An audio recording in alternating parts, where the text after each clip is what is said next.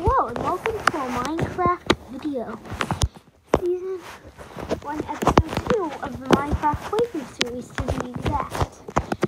In, in the previous unpublished video, before someone visited my house, that I know, I decided to try and gather some stone but failed.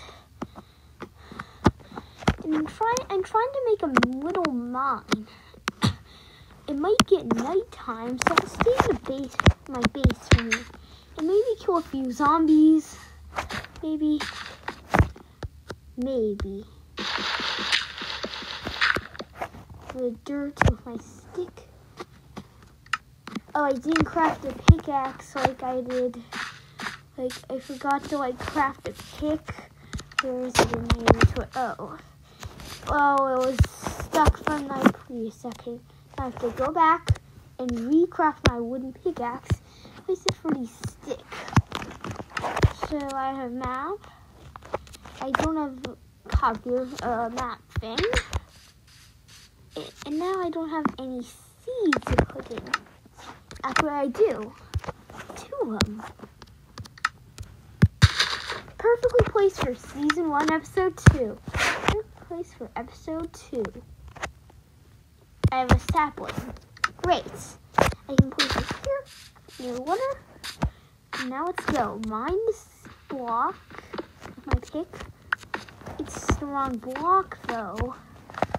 Like, at least I found some coal that might have stayed. Let me go right little, a little, down a little. This might be more coal in sight. Very bad. Do not try unless you somehow find stone, which I did. Which is great. Unless you're a casual speedrunner, do not. If you're a casual gamer looking to find stone, do not try to seed. I'll oh, show you seed, and it's pretty good for. Oh, very good for a starting world. I've auto jump on. Because I don't have to click jump button all the time, of course. Auto jump's a pretty good feature. Let's go make my pick. Start by making sticks. Put this. Not that, but that. What will I make?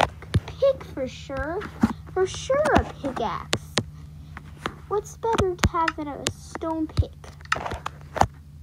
Then I can mine stone way easier. Well, a horse nearby and some flowers I could potentially use for dye, but currently I'm going to use my wooden sword, which doesn't have that good durability, to kill this chicken.